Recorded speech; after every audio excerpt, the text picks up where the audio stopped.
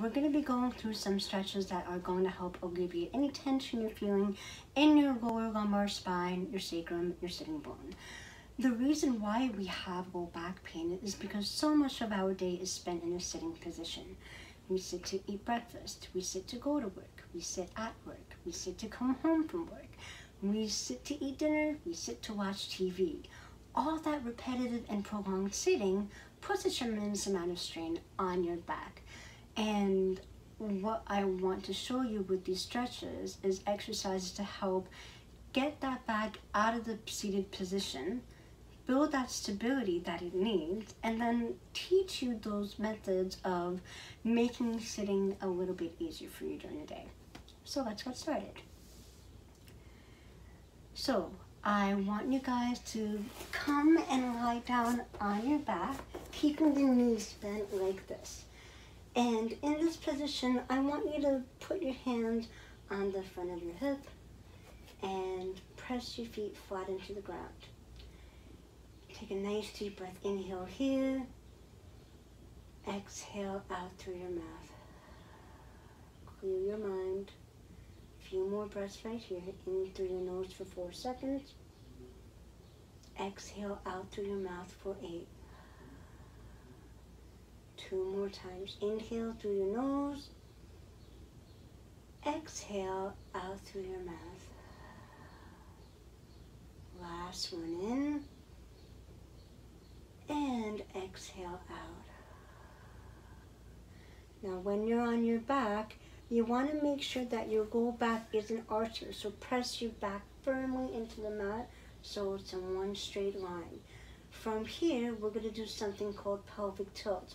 So holding onto your hips here, you're gonna rock your pelvis up towards you.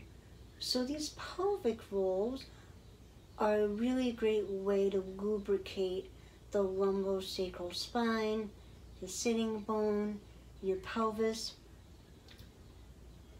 This helps get out of that seated position that the back is in all day. So pelvic tilts are a really great exercise for you to do when you're sitting in your chair, lying down, to rock that lower back. Good. Two more times. Last one here. Now from here, we're gonna lift that back and butt up as high as you can. You can clasp your hands underneath you to give you more of leverage Lift up that chest here. Press your hands firmly down into the mat. Feet are pressed firmly into the mat. If this is really challenging or painful for you, you can just go halfway or you can place a block underneath your back like this and keep your body in this position. But I want you to try to not use that support as you extend the roll back, going into a bridging position like this, not only are you strengthening your back like here, but you're also stretching out the front of the thigh. So you should be feeling a really great stretch in your thighs right here and your hip flexors. And one deep breath more. Inhale here. Exhale, come back down. Good. Let's do that a few more times. So lift the body and back up hold here. Keep the belly button tucked in. Exhale back down. Avoid any pinching or pain when you go up. If there is, back off and then just go a little bit. Or don't hold. Just go up and down if you need to.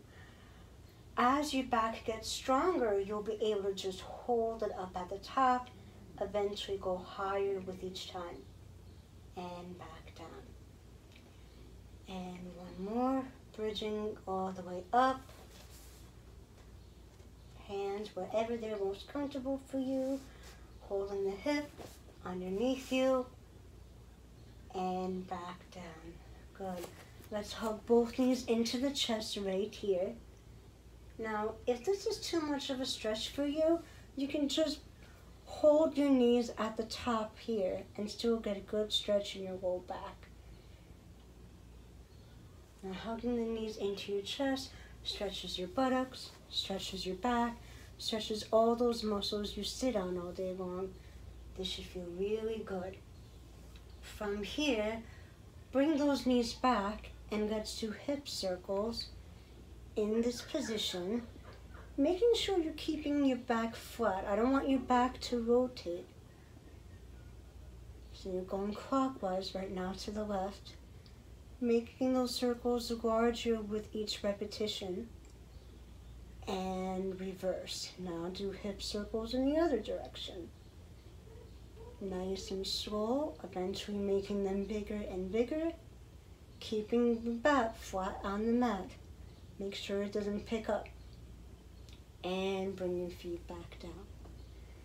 Now in this position, what I want you to do is swing both knees to the right, drop them to the ground, get a really good stretch on the left hip, left torso, left side of your back. This should feel really good. Come on up, switch other sides, drop both your knees to the left. Now normally your head would turn in the opposite direction that your knees are, um, looking at the camera. Feel good stretch through the right hips, right IT band, right torso. Come back to center.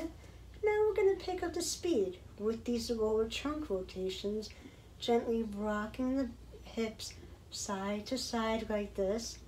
This is a really great way to lubricate the joints when you get up in the morning before you get out of bed, when you get out of the car at the end of the night, or when you're in bed at night. Trunk rotations really help stretch out the hip, the back. This should feel really good. See if one side is tighter than the other. If it is, you can just hold it a little bit more on that side and come back to center. Good. Now from here, keeping your hip and torso flat on the ground. So again, let's do that pelvic tilt, keeping your body in one neutral position. You're gonna lift up that right leg, back down, tapping your foot to the ground. And then lift the left leg up in the air, back down. So not only are you doing the pelvic tilt and holding it there actively, you're also marching with your legs as your belly button stays tucked in. Your back is firmly pressed to the ground. Your core is engaged. And you're strengthening your lower body, your core, as you do these supine marching. This is a really great exercise for building core stability right here. Pretend you're in a marching band. But because you're not moving your body, you're only picking up the leg, it's a core stability exercise. Core stability means that you're keeping your core immobile. You're not moving it at all as you move the arms or the legs or both last round and relax. From here, we're gonna add the arms. Actually, let's modify that. Bring your feet up in this position here. Bring your hands up shoulder level. What you're gonna do in this position, again, go back to that pelvic tilt, make sure your body isn't moving, you're going to straighten the left leg and the right arm goes above you. Come back to center. Straighten the right leg and the left arm goes above you. Come back to center. This is called a dead bug, or technically called a dying bug. What this does, core stability, keep that core engaged as you're moving the arms and legs away from your body. Now, this is really hard for you it's because it's a coordination exercise. So what I want you to do, if it's challenging, put your hands on the knees and then opposite. Actually, that's actually a little bit harder for me. All right. So actually, if you have, you know what? Keep the hands on the body and then just straighten one leg and go up if it's hard for you. and then straighten the other leg and then go up. It is a little bit harder for you to do the leg first and then the arm first, but it teaches you the coordination until eventually the arms don't need to touch the legs and you can straighten the opposite hand and leg like that. Whew. Dying bugs really know how to stay coordinated, huh? Good. Keep that back flat. Make sure it doesn't round. Two more times. Last one. Hug the knees into the chest.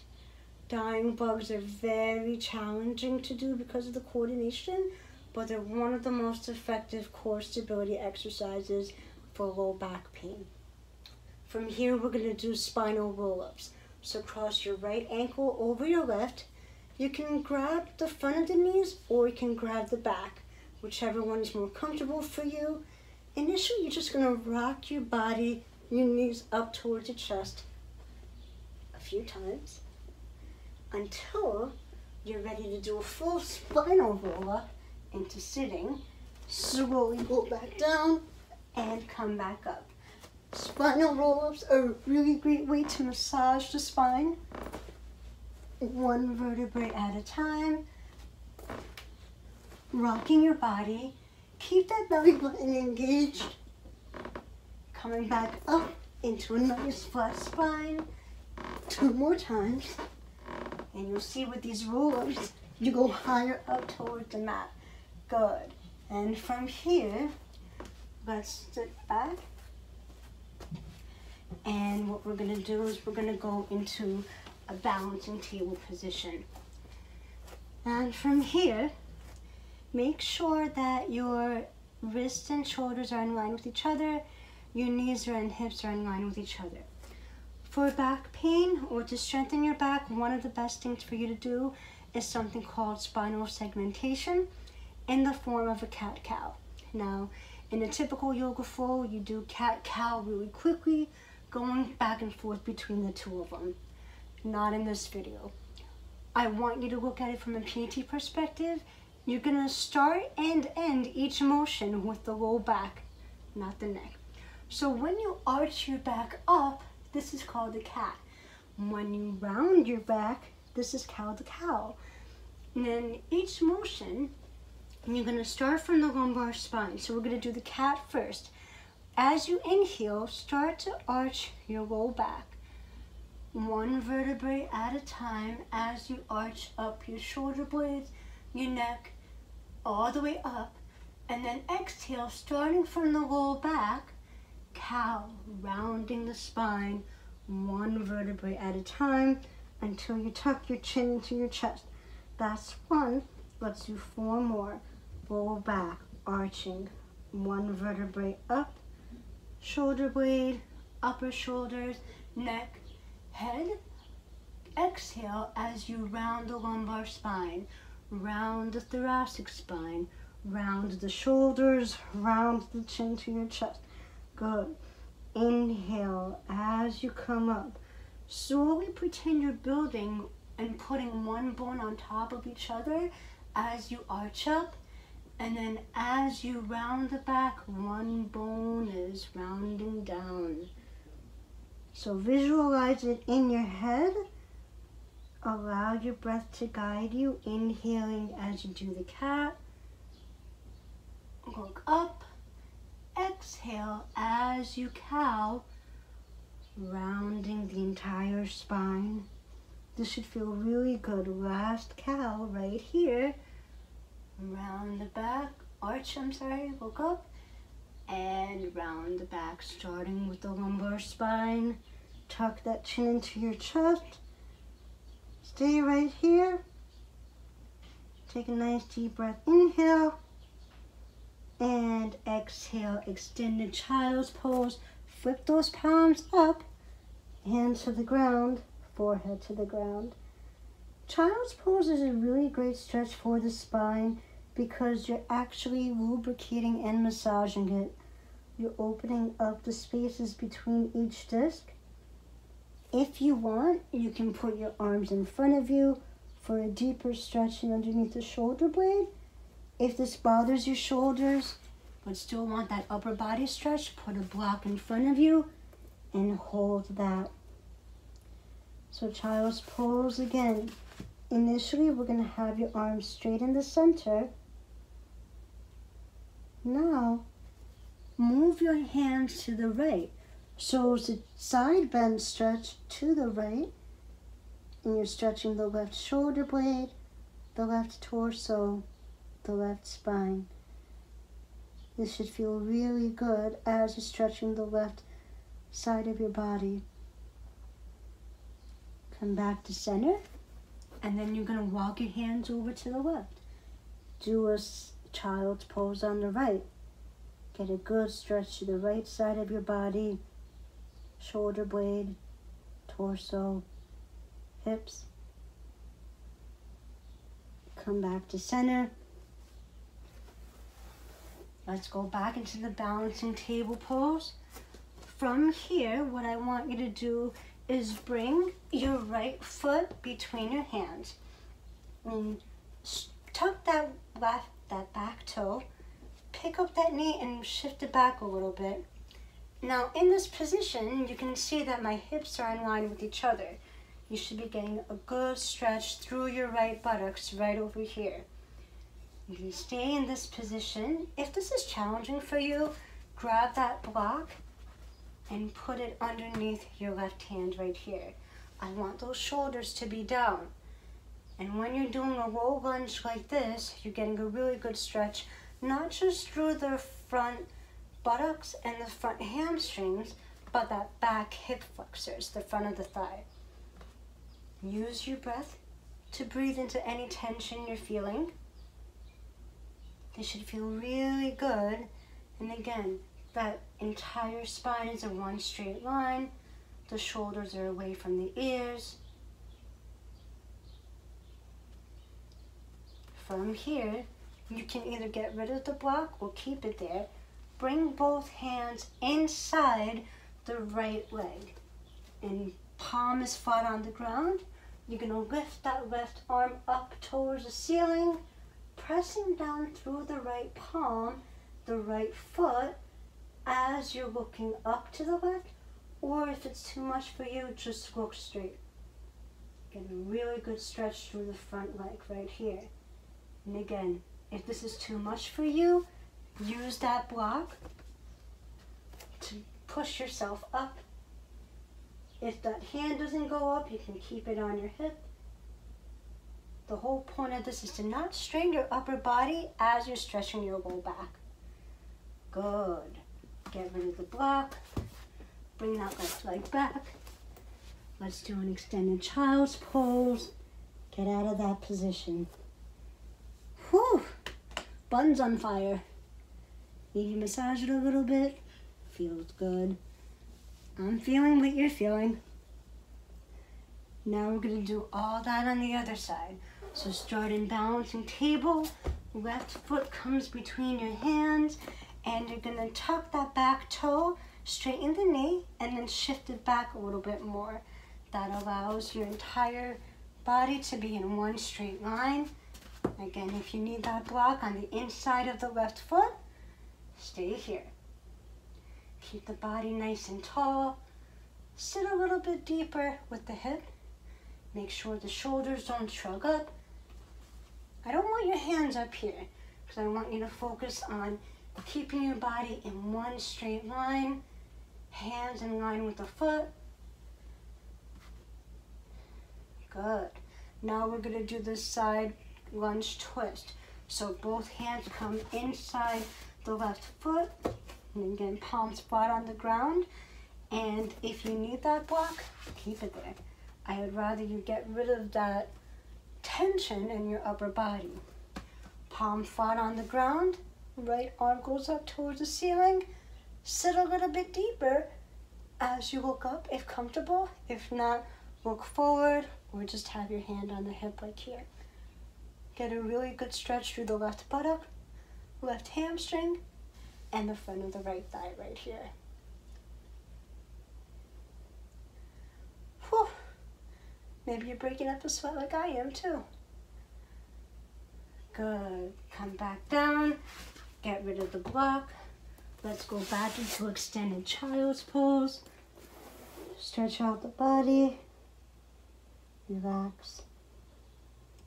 Now again, if you feel like when you did one stretch compared to the other side and you felt that tension on the right side, when you're doing the extended child's pose, you can go right ahead and do it to the side if you want to get rid of any tension on one side more than the other.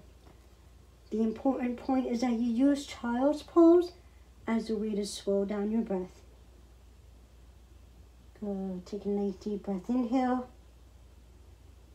and exhale as you come back up into a sitting position.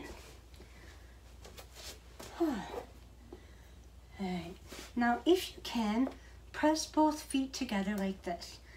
If this is challenging for you, you can have the feet further away from your body. And if you want, you can put a block underneath your knees. What I want to do in this position is to get an adductor and groin stretch. The reason why is because when you sit, the inside of your thigh becomes very tight. The tighter your groin, the more it can contribute to low back pain. So sit up nice and tall. If it's easy for you, grab your toes. If not, you can just put the hands behind you as you open up those knees down to the ground. Get a nice good stretch in front of the thigh. Take a nice deep breath inhale with a tall spine. Exhale, relax. A few more breaths right here. Take a nice deep breath inhale. See how your spine grows taller. Exhale, relax through your mouth. Two more times. Inhale. And exhale. Last breath in through your nose, four seconds. Exhale out through your mouth. Now, we're going to go back on your back. Back on the back. We're going to do a very important stretch called the hamstring stretch. And your hamstring is both a back muscle and a knee muscle. And most people like to stretch their hamstring, which is this muscle in the back of the thigh, standing with the foot up in the air. I'm not a fan of that stretch because your back is a, your hamstring is a back muscle. So you want to stabilize it at its origin. So on your back, we're going to stretch your right hamstring. You're going to bring that knee to your chest and you're going to grab the back of that right thigh with your hands. In this position, bring your foot up towards the ceiling. Now, if you can straighten the knee all the way, great. If not, that's okay. Keep it a nice straight bend in the knee. Pull that knee in towards your chest a little bit more. Go deeper into the stretch right here to the back of the knee, back of the thigh. Now, depending on what you've been doing today, you might feel the stretch more at the knee other times it might be higher up the leg. It's all one muscle. Your hamstring starts in your low back, right at L4, L5, travels down the buttock. The entire back of your thigh is all three branches of a hamstring, and it attaches below the knee. So, doing the stretch, you can see why it's so important with each inhale, that knee comes closer to your chest. You can keep that knee bent if you want. Totally fine. If it's shaking a little bit, back off. Shaking just means that your leg is weak. So doing this stretch brings awareness to your body. Where it's tight, where it's weak, and taking care of yourself with these exercises to help Get rid of whatever you're feeling. Uh, that's enough for the right side. Drop that right foot down to the ground. Bring your left knee into your chest. Grab the back of the left thigh with your hand and straighten that leg as far as comfortable. Doesn't have to go all the way. You might notice that one side is tighter than the other, and that usually is the case because we're dominant on one side. We use one side more the other side gets neglected. So if you're feeling more tightness, you can do foot circles. You can rock your foot up and down. or alleviate any tension in the lower half of your foot. As you inhale, bring that knee closer to your body. You don't have to straighten it if you don't want to. Again, the whole point of this stretch is to raise awareness of your body. With each inhale, breathe into that tension also. Keep rocking that foot up and down if you want, doing hip circles. This should feel really good. One last breath in. Now bring both knees into your chest. Grab the inside of your ankles and open your knees out. This is called a happy baby pose. If you can picture a happy baby, its legs are up, it's grabbing its ankles, it's smiling. This is a really great stretch for your spine, your hips, your thighs, your groin, everything on the inside of the body. If it's hard for you to grab your ankles, you can just grab the back of the knees. The important thing is that you're opening up those legs as far as you can that's comfortable, rocking your body back and forth, moving side to side. Put a smile on your face like a happy baby. Breathing into any tension. Exhale, allowing your body to open up even more. Remember, your breath guides your movement that is what makes movement medicine. And if you're not happy, you won't be able to move the way you want to. So always come back to the happy baby if you have back pain or tightness. Good. One deep breath, inhale here. Exhale, bring both knees to your chest. Hug the knees in one last time. Cross the right ankle over the left. Grab the back of the knee spinal roll up all the way up to sitting. And let's sit facing forward.